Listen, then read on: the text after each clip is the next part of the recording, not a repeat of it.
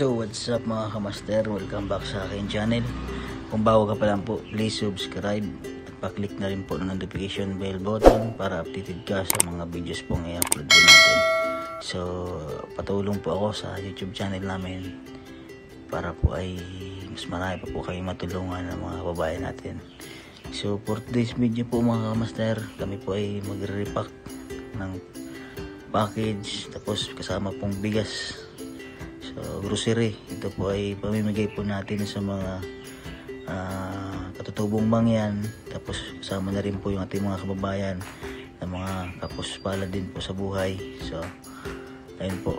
Kasama ko po ngayon ang aking mama. Ayun po, kasal kasalukuyan po siyang uh, nagre-repack. So, kasama kong kapatid ko. Kasama ko rin po si uh, Auntie Love uh, mga pinisan ko kapatid ko si David shout out sa'yo saka si Papa shout out sa'yo pa. So yun po at mga pamangkin ko kasama ka rin po. So bali po ay nagre-repack po kami ng bigas grocery. So ang target po kasi namin mga kamaster ay 200 household po 200 family. Ang target po namin na uh, bali po ay uh, sa isang community po ito ang aming pamimigay so ang una po namin napili ay sa Kulasisi po, Kulasisi sa Sablayan, Occidental Mindoro. So, bali po ay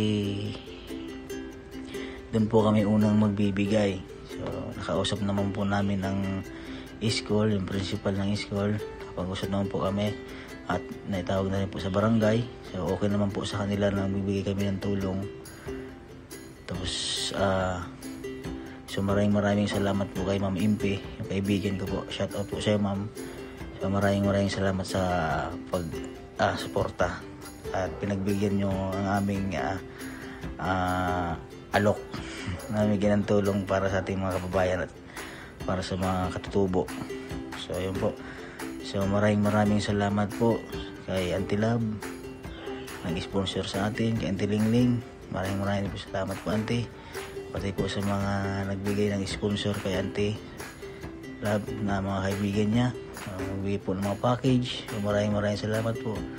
Uh, sa mga susunod po sana po may parating pang mga package para po ay yun po itulong galing sa ibang bansa para mas may marami pa tayong bigyan ng mga uh, kababayan natin at mga katubong mangyan so yun po yung target po ng pamilya namin na uh, uh, may charity po at para makatulong din po sa panahon ngayon.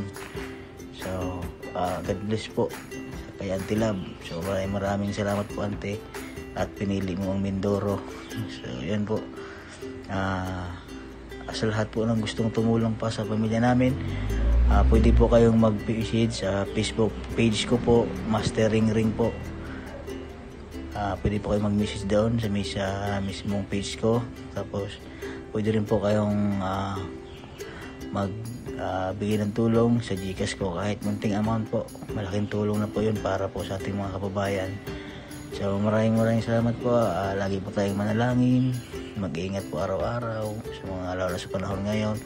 Pandemic pa rin tayo. So marami pa rin uh, ang bansa natin. Talagang marami pa rin uh, po positibo sa COVID. So lagi lang po tayong manalangin. So maraming maraming salamat po. uh, abangan niyo po kami pag pamimigay po namin ng tulong. So ngayon po ang araw na ito ay uh, tatapusin namin yung pagre-repack. So uh, abangan niyo po kami. Maraming maraming salamat po mga kamaster sa suporta po. God bless po sa ating lahat